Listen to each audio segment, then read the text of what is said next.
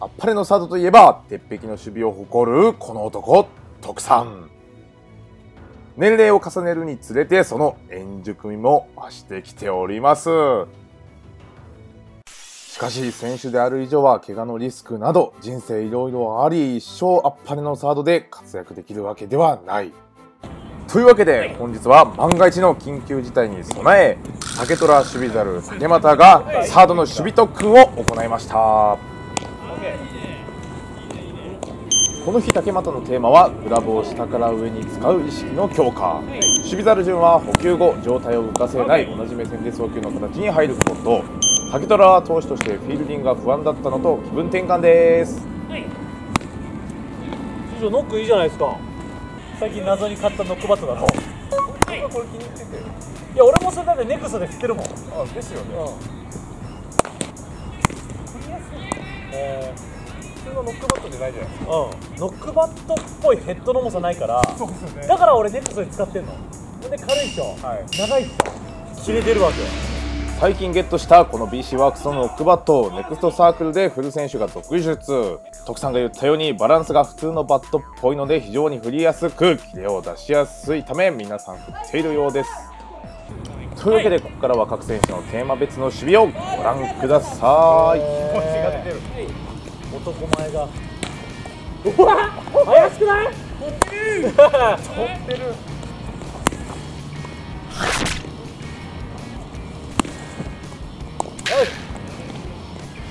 いいね。お。上から行ったらダメだから。はい。こう取りったらダメだから。うん。はいバッターツーボールワンストライクからの4球目。ストレートを差し込みピッチャーゴロ。しかしこれを竹虎が悪送球。逆シングルで取りに行くのは OK そうですが下から取るイメージがもっとあればまた違ったのかも。アウ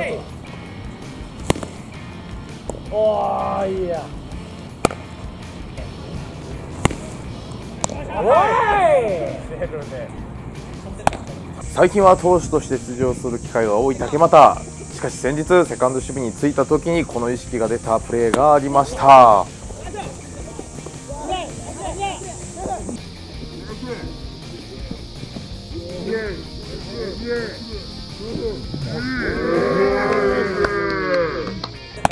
半袖短パン。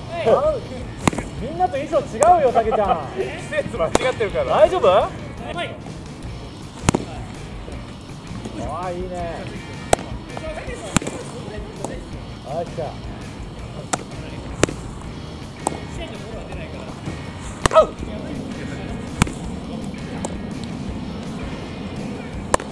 じゃあもうちょっとリラックスできるできる。絶対。ああ絶対もっとリラックス。できるせっかく落としてるから。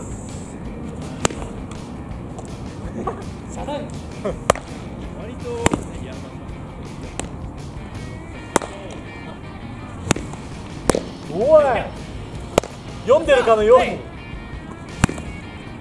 あーしゃうわいい。粘り。あしゃあしゃじゃあ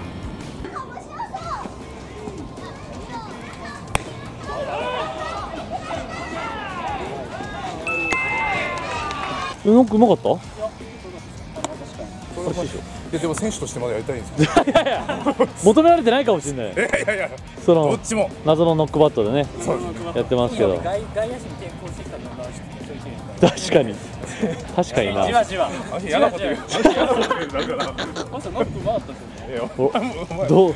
ワンテンポ遅く言ってくんじゃないよ後輩からむっちゃなんか褒められてんのかディスられてんのか。でも居場所はまた見つけました。いやいやいや。一応物にはするんだ。そうです。一応。一応いつでも どっちも行きますよ。やおもろいな。っぱ年がありますから。そうやな、い。やっぱダメですよ。あなたもおじさんですから。そうですね。そうだよ。やれるとこまで選手として。そうだよノック体験ギャランドゥが。でもあでもね。まあでも一時期に比べれば。というわけで私ライパチ本気で肉体改造姿勢矯正始めました。場所はなんとおしゃれの街神宮前。多くのメジャーリーガーや日本のプロ野球選手も通うその施設。その様子はまた後日紹介いたします。ポイントは肩甲骨でした。徳さんライパチ兄貴は Twitter インスタやってます野球情報から特産のおしゃれウェア兄貴の聴覚言爆笑ライパチのチョンボ伝説などいろいろ更新してます。ぜひチェケラチョー